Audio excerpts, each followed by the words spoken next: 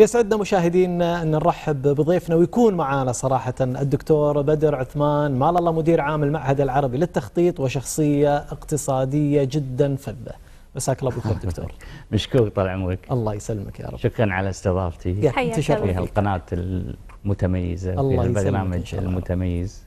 ما قصرت. الله يحفظك. دكتور بداية المعهد العربي للتخطيط نبي نعرف بالضبط شنو دوره؟ أوكي المعهد العربي للتخطيط هو منظمة عربية آه، متخصصة في آه، التخطيط الإنمائي وإدارة التنمية. ويختص بتقديم آه، الدعم والمساندة في آه، مختلف جوانب التنمية الاقتصادية والاجتماعية للدول العربية الأعضاء بما فيها دولة الكويت اللي هي آه، مؤسسة المعهد. نعم. والمعهد أنشئ باتفاقية دولية؟ ما إحنا اللي أسسنا المعهد هذا. الكويت. نعم ممتاز. نعم. الكويت أسست المعهد آه، بالتع... بالتعاون مع الأمم المتحدة في إطار اتفاقية دولية. نعم. وهذا كان في إطار آه، آه، جهود الكويت منذ الستينات. ما شاء الله. آه، في دعم آه، التنمية في المنطقة العربية والدور الخيري اللي تلعبه الكويت واللي توج يعني بالكثير من ال- المشاهد في تاريخ الكويت وآخرها آه، حضرة صاحب السمو. كقائد الإنسانية نعم. والكويت كمركز للعمل الإنساني وهذا بدأ العمل هذا مبكر في تاريخ الكويت العمل الخيري والعمل الإنمائي فعندما أنشئ الصندوق الكويتي للتنمية. الاقتصادية العربية عشان يقدم آه، آه، تمويل آه، إنمائي. نعم للعالم أنشئ العربي. أيوة أنشئ لكل الدول النامية نعم.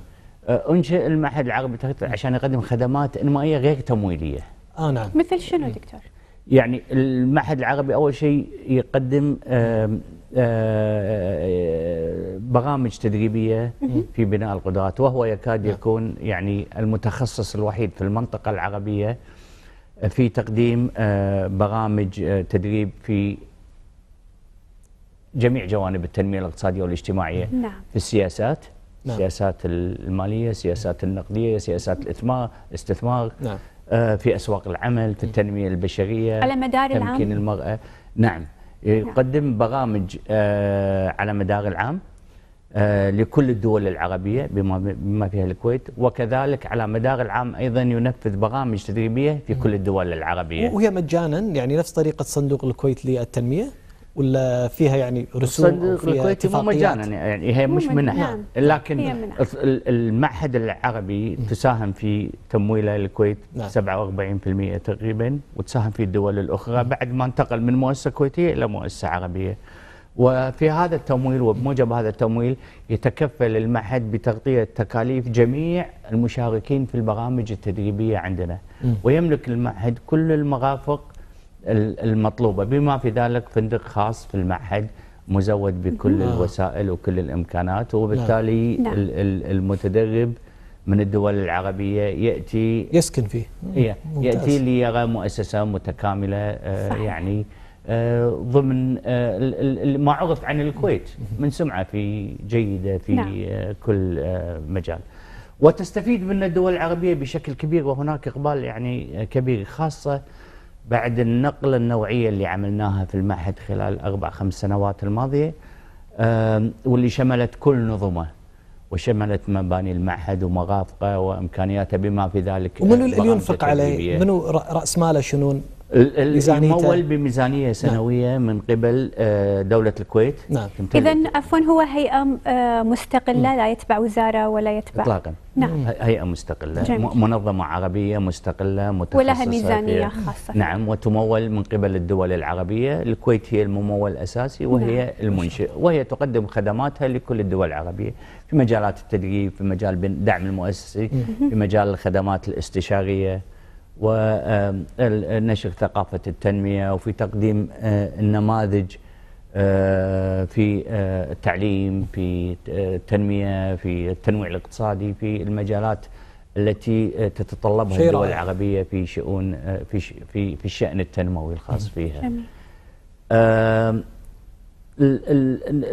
العام الماضي تقريبا تدرب حوالي 4800 آه، متدرب من كل الدول العربية وإحنا حريصين دائما على أنه أنه أنه نقدم برامج تدريبية متقدمة و آه، صدقني يعني أنه هذه البرامج اللي تقدم على كفاءة وعلى جودة عالية من حيث تركيزها على تزويد المشاركين نعم. والمدربين إيه؟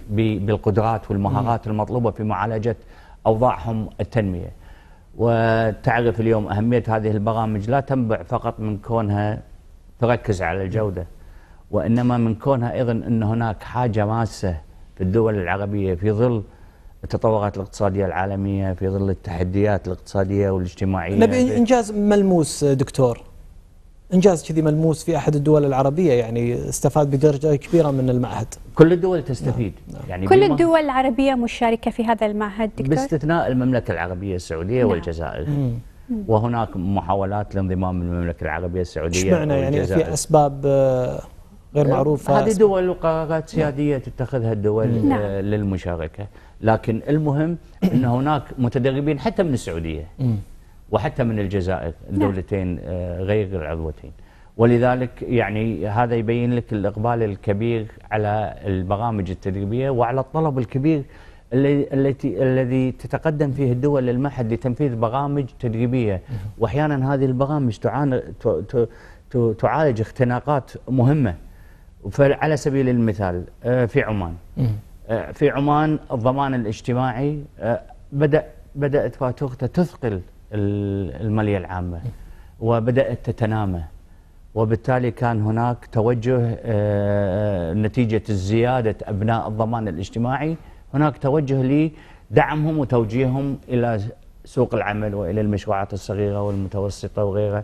وقدمنا برنامج متكامل بدأنا فيه منذ فترة في دعم مؤسسي واستشاري وفيه برامج تدريبية لأبناء الضمان الاجتماعي لتحفيزهم للذهاب لسوق العمل. ممتاز. فهذه المداخلات والاختناقات آه، معالجة نعم. الاختناقات هذه كثير تستفيد منها الدول العربية. يعني مؤسسات من هذا النوع ما تحل مشكلة التنمية في المنطقة العربية. مشكلة قضية التنمية قضية معقدة وترتبط بملابسات يعني هذا جزء من خدماتكم هذه. إنما هذه جزء آه، نعم. نقدمها من الخدمات. وإحنا حريصين وأنا حريص يعني ان إن إحنا we target we target أشياء نستطيع بالفعل إن نقدم فيها تغيير نموذج. ونحدث فيها تغيير ونقدم فيها pilot pilot models لنقول نعم. كمثال. بأنه بالإمكان أن آه، آه، نقوم بشيء. وأعطيك على سبيل المثال مثلا في المجال الاستشارات. الآن لما تشوف المنطقة العربية تعج بالاستشاريين العالميين. أي. وأيضا تعج بالمنظمات الدولية وال UNDP والبنك الدولي وأسعارهم غالية. وأسعارهم غالية ومكلفة. نعم. ولا يفهمون المنطقة. ولا يفهمون المنطقة. يعني وأنا أستطيع أن أضرب لك العديد من الأمثلة اللي نستطيع نتحاور معهم فيأتون ب آه، أولويات مثل من دولة مثل اليمن ويحطون لك ال climate change على رأس الأولويات والأمور هذه. يعني لا بس إحنا بالكويت دفعنا ملايين على الاستشارات هذه. توني بلير و المؤسف إنه معظم الدول نعم. الخليجية الدول العربية آه، تنفق كثير على الاستشارات. لأن آه،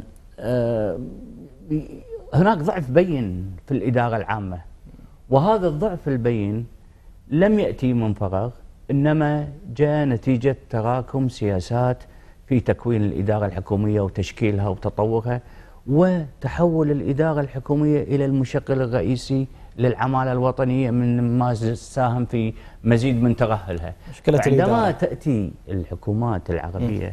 لتنفيذ برامج نعم. تنموية لا تجد أدوات تساعدها. ولا تجد رأس مال بشري كفؤ وقادر على أنه يتقدم ويذهب نعم. فيها وأنا أفهم يعني إذا إحنا في تجربه التنمية العربية خلال ال 40 50 سنة الماضية يعني إذا كانت المشكلة أن نحتاج استشاريين في نانو تكنولوجي ولا في في الطاقة المتجددة أو غيرها نعم. أنا أفهم إنه هذه آه، تقنيات عالية وتحتاج خبرات عالية. لكن تجد إنه يقدمون خدمات استشاريه لامور نستطيع القيام فيها. وهذا وهذا واحدة من ال targets اللي أنا كنت أحاول أقول فيها إنه we can do it نعم. في مجال نستطيع أن نقدم فيه صح. آه، خبرات وحلول. وفاهمين المنطقة. وفهم في إيه. المنطقة أفضل من الاستشاري. وحصل. إنه نافسنا في بعض الدول بعض الاستشاريين العالميين في نعم. مجال مثل إعداد الخرائط الاستثمارية. وهذه قضية الخرائط الاستثمارية قضية في غاية الأهمية. الآن لا يمكن أن تسجل تقدم وتخطط وترى اقتصادك الوطني بقطاعاتها المختلفة وتحفز فيه الاستثمار بدون ما تكون عندك خارطة الاستثمارية، الخارطه الاستثمارية هي رود ماب تشتغل على نعم اساسها خريطة طريق جميل. طلبت منكم الحكومة الكويتية من قبل استشارة ال- من ال- المعهد؟ طبعا. عندنا علاقات آه، وثيقة. اولا في مجال التدريب نحن ندرب سنويا في حدود 1300 إلى 1500 موظف. مدراء دوائر ومسؤولين وغيرها آه، وأول أول بدينا أول بداية كنا ندرب إحنا وجامعة الكويت، جامعة الكويت تاخذ في حدود 800 وإحنا ناخذ 1200 بعدين تبنينا إحنا الموضوع وصرنا ندرب في مجال التخطيط الإنمائي. وأيضا دربنا وضعنا برنامج تدريبي لوزاره الإسكان سنة كاملة في مجال اعداد وتنفيذ المشاريع والاستفادة من أفضل الممارسات. في مجال البرامج والمشروعات الإسكانية نعم. ونفذ ننفذ على فكرة برامج حتى لوزارة الداخلية. يعني السنوات الماضية ننفذ آه، في كل كل ورتب عاليه في كل الوزارات. وعلى فكرة نعم. يعني وزارة الداخلية من ال... من الأجهزة ال... ال... ال... ال... الت... التي تهتم بالتدريب وتركز على التدريب، ليس التدريب الشرطي والأمني وإنما التدريب الذي يختص بالتطوير الإداري وتطوير الموارد البشرية وكل الأمور ما شاء الله. أدواركم كثيرة في المعهد العربي للتخطيط فاصل وبنكمل حوارنا إن شاء الله كملين حوارنا مع ضيفنا الدكتور بدر عثمان مال الله مدير عام المعهد العربي للتخطيط. دكتور خلينا ننتقل إلى مشروع الصندوق الوطني لدعم المشاريع الصغيرة، حاليا الكويت عندها توجه لدعم مثل هذه المشاريع وأنتم كان لكم دور في دعم هذا الصندوق. يا ال- ال- ال- المشروعات الصغيرة والمتوسطه الحقيقة بدأت تكتسب أهمية آه، في الكويت هنا وفي أهمية مع كبيرة تشجيع. القطاع الخاص مع نعم. مع مبادرة صاحب السمو نعم، صح. في آه، قمة الكويت في 99 نعم. لكن ال ال ال ال التطورات الخاصة بالمشروعات الصغيرة تعود إلى الثمانينات والسبعينات يعني المشروعات الصغيرة ما هي شيء جديد بل بل هي مرتبطة بأي اقتصاد نعم. وجودها ودورها لكن الحين يمكن تغير مفهومها. ال- بالنسبة لنا إحنا بالكويت وشباب تغير إدارة و- القطاع المشروعات الصغيرة وتغيرت فلسفتها ومفهومها. نعم. صاروا الناس ال- يتقبلونها إيه. أكثر، كان هناك خوف من الخوض في المشاريع الصغيرة بالكويت، لكن الحين الشباب ما شاء الله صاروا منفتحين أكثر عليها. هي هو هي المشروعات الصغيرة عماد كل الاقتصاد منذ أن خلق نعم. الله سبحانه وتعالى الاقتصاد. أوكي. لكن بدأ الاهتمام وتنامى في المنطقة العربية ومع مبادرة حضرة صاحب السمو نعم. في قمة الكويت وكانت لها زخم كبير في المنطقة العربية. والحقيقة بدأ اهتمام كبير وأيضا صدر القانون الخاص بالمشروعات الصغيرة والمتوسطة بإنشاء الصندوق نعم، هذا لينشئ. آه، أعتقد آه، صدر قانونه ب 2013 قبل لا يصدر القانون أنا تقدمت بوثيقه للمجلس في المجلس الأعلى للتخطيط واعتمدت في نعم. ال- الوثيقة. آه، مع آه، في الخطة الثالثة الخطة السنوية الثالثة من الخطة الأولى وكانت مرتبط ترتبط هذه الوثيقة بقانون الصندوق. وكانت تركز على إنه ينبغي إنه إنه لا نذهب فقط بالتمويل وإنما ينبغي. كذلك. ان نبني القدرات. نعم. وتكون عندنا فكر متطور في وفلسفة ورؤية. وصار على هل فعلا تم تدريب؟ تدريب شباب؟ عندنا رؤية. ما أدري عنهم أنا. مم. لكن أنا لما شفت إن المبادرة ما ما أخذت من جانبهم مم. يعني إحنا قمنا أنا بادرت بإنشاء المركز الإقليمي للمشروعات الصغيرة والمتوسطة. وهذا المركز هذا حلو. يقدم خدمات لكل الدول العربية. ويقدم 24 برنامج تدريبي للمبادرين ويقدمهم للمؤسسات نعم. ال- ال- اللي المشرفة على قطاع القطاع وللمؤسسات آه، التمويل آه، بمختلف مستوياتهم لتدريبهم وكذلك يقدم المركز خدمات استشارية في على درجة عالية من الأهمية. مم. منها مثلا على سبيل المثال عندما طلبت من الحكومة الأردنية إعداد الخارطة الاستثمارية للأردن. آم، كان الشق الخاص في المشروعات الصغيرة مهم جدا بالنسبة للإخوان في الأردن وطلبوا أن يكون جزء من الخارطة الاستثمارية يركز على أوضاع المشروعات الصغيرة وسبل تقويتها وتعزيزها قيام بها و- نعم. وقمنا بالعملية وكذلك الآن نقوم برسم خارطة استثمارية للمشروعات الصغيرة كذلك في آه، ظفار وتربط هذا المركز بالدول العربية آه، علاقات قوية ويقدم برامج تدريبية آه، منها برنامج تدريب المدربين في المشروعات الصغيرة والمتوسطه وهذا البرنامج ينفذ بتمويل من الصندوق العربي ويعطي آه، دبلومة آه، مدتها شهر. آه ممتاز. نفذنا طويلة. آه في عمان وفي ال- البحرين وفي السودان وفي الأردن. نفذناه بالكويت ونفذ فهناك نشاط آه في المشروعات الصغيرة. الآن إحنا بالكويت محتاجين إن نستعجل في هذا الموضوع ونتقدم أكثر ونسرع أكثر.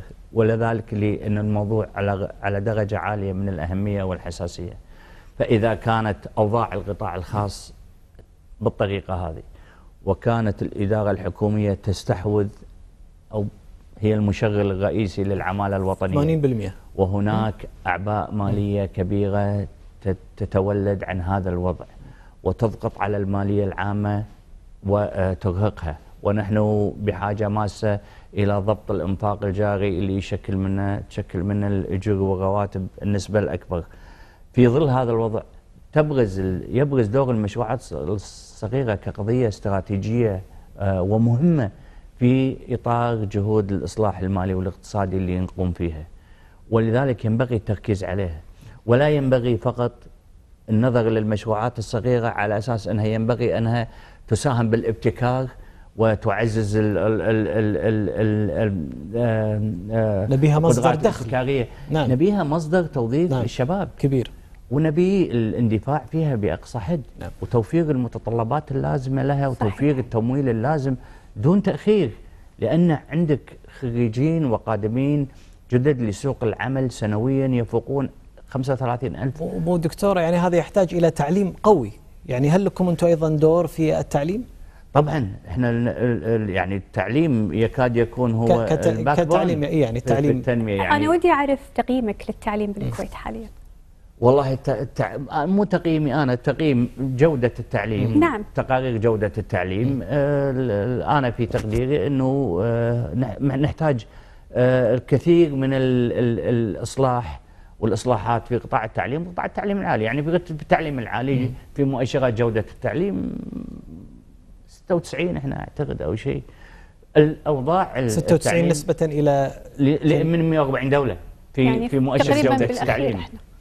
أوكي نعم. آه، لا لا. متأخرين. لا تعبانة. شوف نعم يعني إن إحنا الكويت بذلت جهود كبيرة ودفعت مبالغ. كبيرة بالضبط وهناك انفاق عالي على التعليم بالضبط وتكاليف التعليم عالية مو دكتور يقال بأن على على مثلا الطالب قول متوسط يعني تنفق عليه الدولة سنويا أكثر من إذا وديته مدرسة خاصة بالكويت يعني الانفاق عالي خلينا إيه. نقول فيعني وأنت وين تكمن المشكلة؟ نعم تكون المشكلة إن الدولة لم تقصر في موضوع التعليم منذ ال ال ب- أكيد. في منذ في, نشأة في مراحل. مبكرة نعم. من. القرن الماضي صحيح لكن كل اللي انفقته على التعليم سجل نتائج حقق نتائج ونتائج لا بأس فيها يعني موضوع تعميم التعليم وصل 100% كل المؤشرات الخاصة بالتعليم سجلت لكن آه، استمر تقدم. في خط مستقيم ما ما لكن صعد لما دكتور تأتي لجودة التعليم نعم. صحيح في مرحلة تاريخية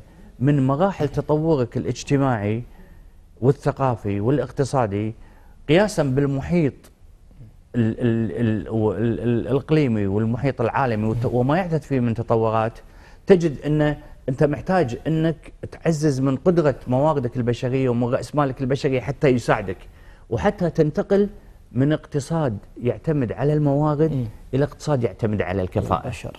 عندما.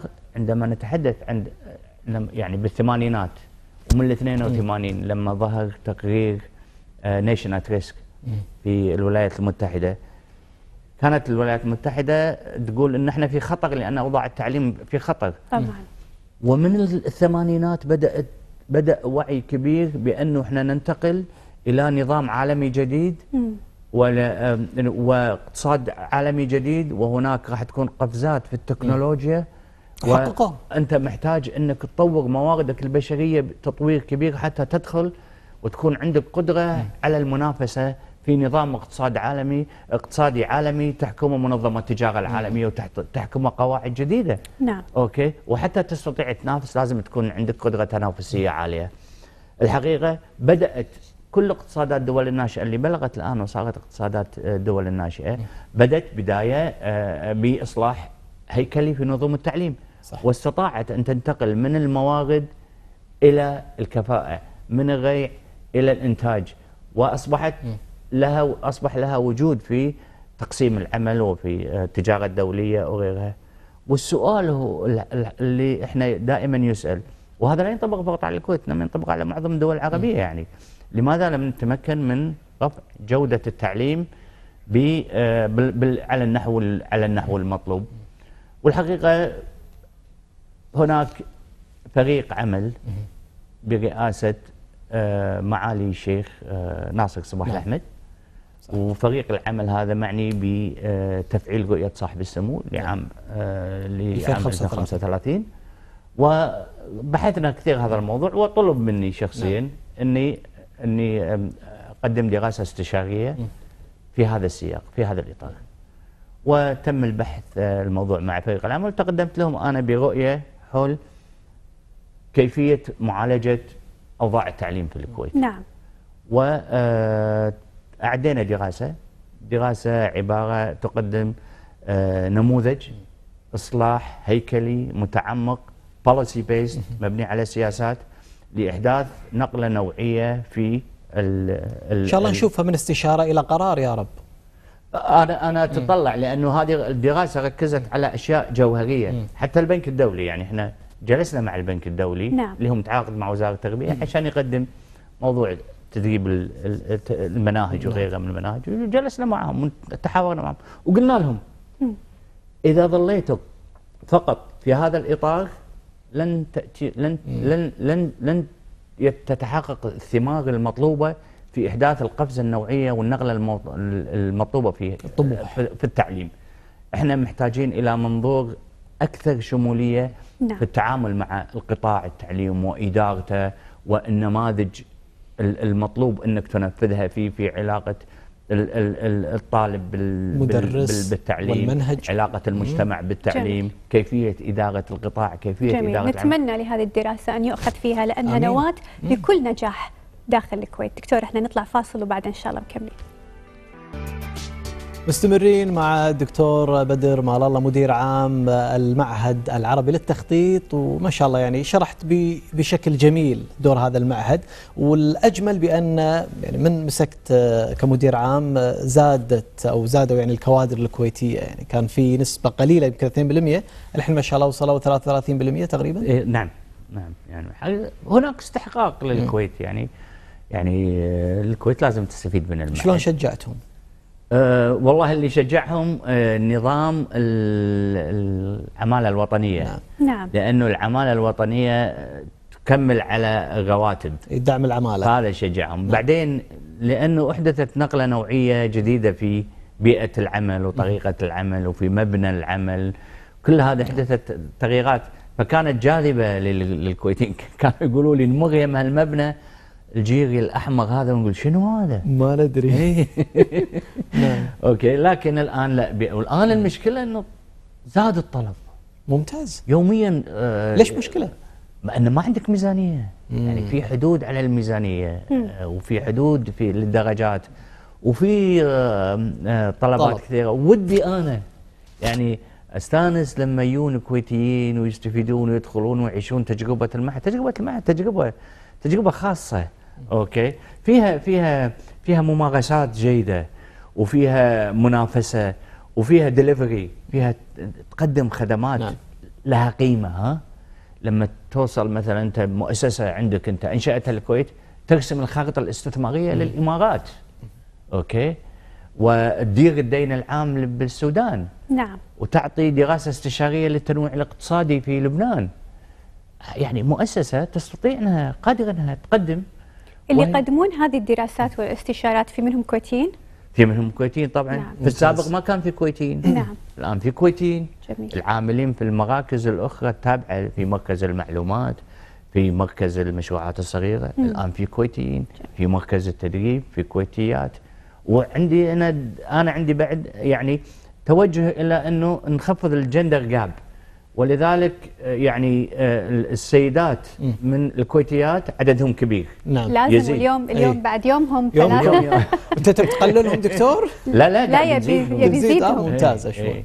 لا لا يعني يقومون. نساء عليك اليوم لو كنت إيه، قايل لا، لا بتقللهم نزيدهم هم غاز المال نعم شكرا دكتور. آه تكلمنا عن وايد جوانب تكلمنا عن التعليم تكلمنا عن المشاريع الصغيرة الاستشارات خلينا نتكلم عن أسواق النفط العالمية أسعار البترول قراءتك وين شايفة آه لهذه الأسواق. وين رايحة؟ الآن في الورلد ايكونوميك أوتلوك الافاق الاقتصاد العالمي نعم. ال- الصندوق الناقد صحح أو عدل شوية في توقعاته للنمو للنمو الاقتصاد العالمي. وكانت التوقعات إن في معظم اقاليم العالم آه، بما فيها الاقتصاد الأمريكي كانت توقعات متفائلة. ويعني كان يتو- ارتفع التوقعات إلى إنه العام هذا 2017 إنه آه، الاقتصاد العالمي ينمو ب 3.5 3.5% ممتاز. خمسة- وهذا ما يعني إنه تعافى كثير الاقتصاد العالمي جميل. وسجل آه، من 2016 سجل تقدم إيه. من بعد الأزمة ونتائج الأزمة المالية آه، والاقتصادية العالمية. اذا الاقتصاد العالمي يتعافى.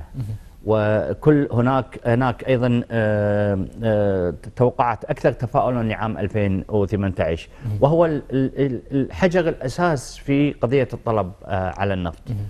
وعندما نلاحظ ال- الآن الآن النفط الآن يتعافى تدريجيا ولكن ببطء ويرتبط بالاتفاقات اللي تتم بشكل خاص في اتفاق آه، تخفيض المحافظة على نعم. مستويات منخفض والإنتاج. الإنتاج في إيه. إطار الأوبك واليوم الأيام هذا الماضيه تم تعزيز والعمل بهذا بهذا الاتفاق وسوف يستمر نعم آه، أضف إلى ذلك إنه لحتى الآن المستويات النفط الأسعار الحالية ليست مشجعه ومحفزة لزياده الاستثمار في النفط الصخري فهي أيضا مرشحه للارتفاع.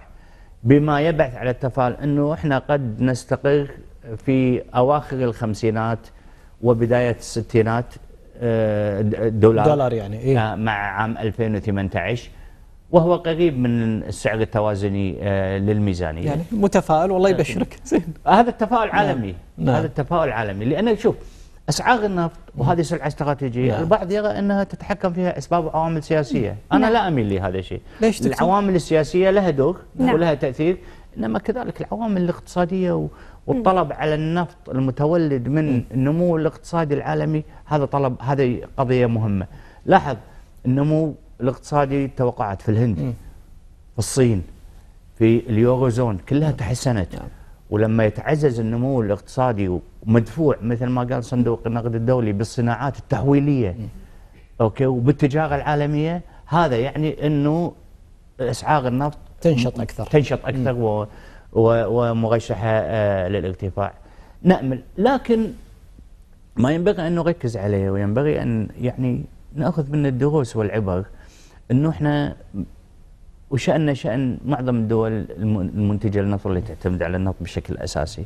أنه ينبغي أن نبحث عن مصادر أخرى ينبغي أن نضبط المالية العامة نضبط آه، نشجع القطاع الخاص ليستطيع أن يخلق فرص عمل ويتحول إلى شريك حقيقي ها؟ يساهم في النمو الاقتصادي ويخلق فرص ودكتور عفوا عمل شنو خفف العبء على الدولة. وهذا شيء طبيعي يعني وبشرتنا الله يبشرك بالخير إن شاء الله، لكن شنو آخر تقرير حاليا يعمل عليه المعهد العربي للتخطيط؟ الآن إحنا نقدم عدة دراسات استشارية.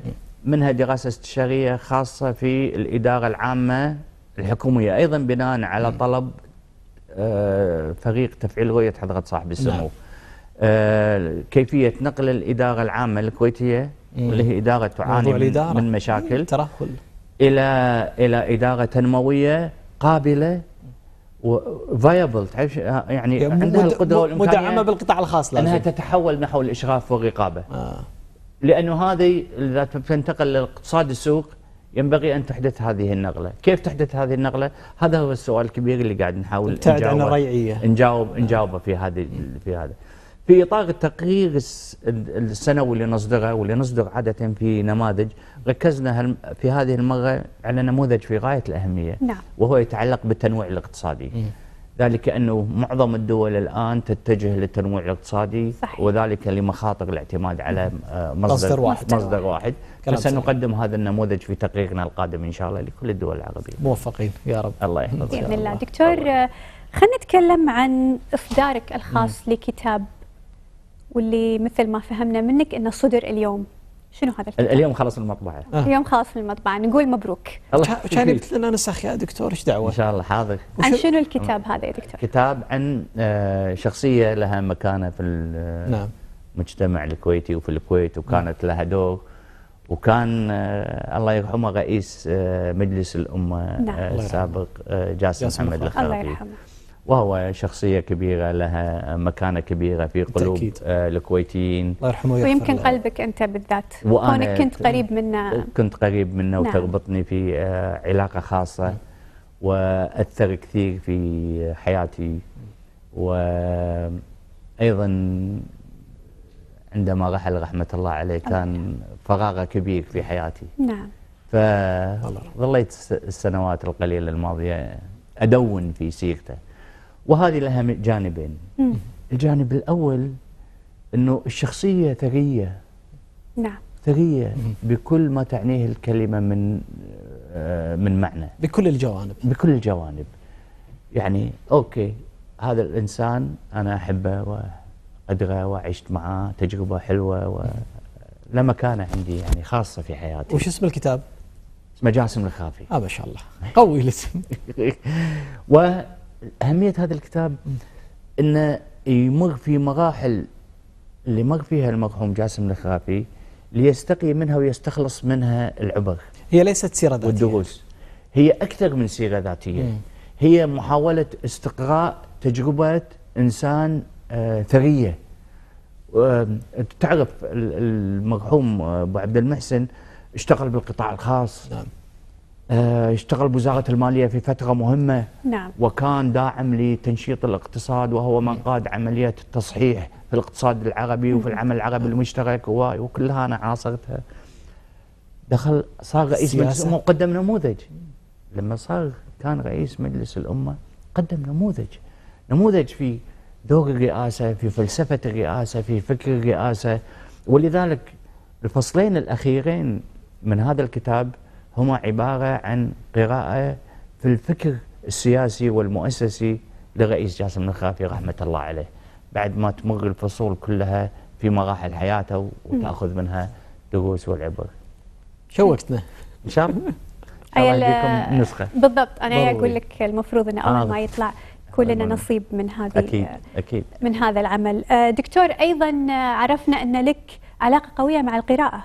مم. ماذا تقرأ يا دكتور؟ أيوه والله أقرأ بس أنا نعم. قراءاتي آم، آه يعني بالإضافة إلى القراءات تتصل بالعمل قراءاتي ما لها علاقة بالعمل. نعم وروايات لأن نبي هذه ال- آه، إيه، أنا أنا أقرأ كثير بالتراث وأقرأ كثير بالفلسفة العربية الإسلامية. مم. وتستهويني آه، الفلسفة العربية الإسلامية في الأندلس. نعم. وبشكل خاص ابن رشد يعني. وأكاد أكون حافظ تاريخ ال- ما شاء الله. الأندلسي من محبين إسبانيا والأندلس وقرطبه الأندلس بالذات نعم. الدولة العربية وزرتها؟ الاسلام في الأندلس أوف كثير طبعا مم. يعني. نعم وطبعا لأنه هذا كانت آه، يمكن أعظم دولة نعم آه، آه، شهدها آه،. التاريخ ال- آه، الإنساني في آه، آه، العشر الأوا في نهاية العشر القرون الماضية نعم وإنجازاتها كانت كبيرة وبالفقه بالتراث بالفلسفة بالطب بالفن. بالفن نعم. بالفلك. وكانت يعني آه، المنارة اللي استفادت منها آه، أوروبا. استفادت أوروبا كثير منها. و و وفي كل مرحلة من مراحلها يعني شخصيات شخصيات يعني من الخلفاء الأمويين. وكل واحد أدى آه، دور كبير. وبشكل خاص مثلا آه، الخليفة عبد الرحمن الناصر وابنه الحكم المستنصر بالله. إيه. ومن ثم محمد بن أبي عامر هذه الشخصية ال- ال- العملاقة متعمق جدا بالتاريخ يا العربي الإسلامي. إيه.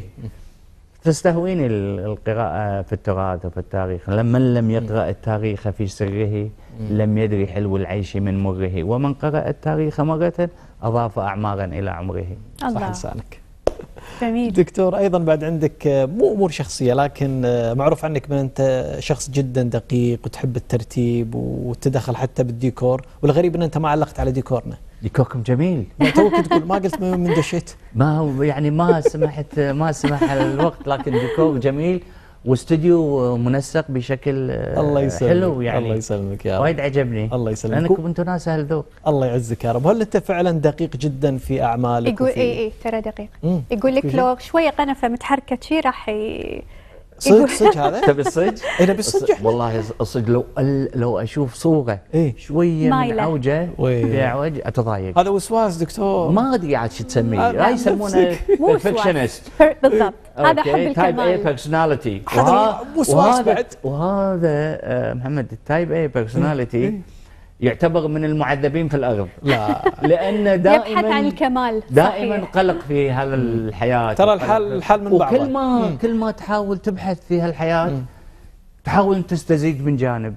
تقرأ في الفلسفة تحاول أن تستزيد بالشعر. تقرأ نعم. بالشعر تحاول أن تستزيد وكلما تطلع كلما تكتشف أنك جاهل أكثر الله بالعكس ما شاء الله. يعني علم كبير ورجل. مخضرم في كل مشكور. طال عمرك كل مشكور. الشكر لك دكتور بدر عثمان مال الله مدير عام المعهد العربي للتخطيط على هذا اللقاء وشكرا على كل الأمور أيضا الشخصية اللي شاركتنا الله فيها يبارك ما فيك. قصرت مشكورين أنتم في يعني على استضافتي وأنا تشرفت وك- وسعيد يعني ما توقعت إني أكون سعيد في هذا. اللقاء الله يسلمك يعني شرفتنا. وآنسنا الله يبشرك تسلم. تسلم بعد الفاصل إن شاء الله راح تكون معنا الدكتورة فاطمة العبدلي